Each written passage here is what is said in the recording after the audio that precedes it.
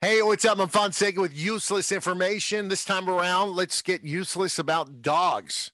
No, I'm serious. Here we go. You ready? New survey by Rover reveals that 76% of singles are more likely to message someone on a dating app if they have a dog picture as part of their profile. That's a lot, 76%.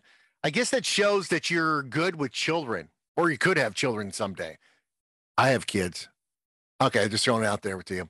51% of singles include dog pictures as part of their dating profile to increase their chances of snagging a date. I don't know about all that.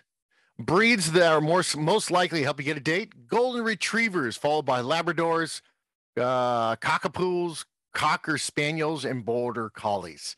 Yeah, all this I I don't follow it. I'm just not a dog guy. I'm really not. I've never been into dogs. I did when I was little. I had this dog named Reggie. Guess what he did? Bit me in the nose. I had blood all over. I remember I was, you know, you're like so little, you don't remember.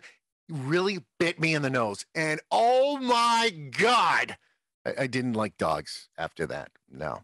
Hey, we're brought to you by Amazon Prime. If you wanted to get like, I don't know, dog food for your dogs, you can order it Amazon Prime. If the dog bit you in the nose you got to get bandages right away, Amazon Prime, they can deliver it to you too. Hey, I'll talk to you next time. All right. The show's for the dogs.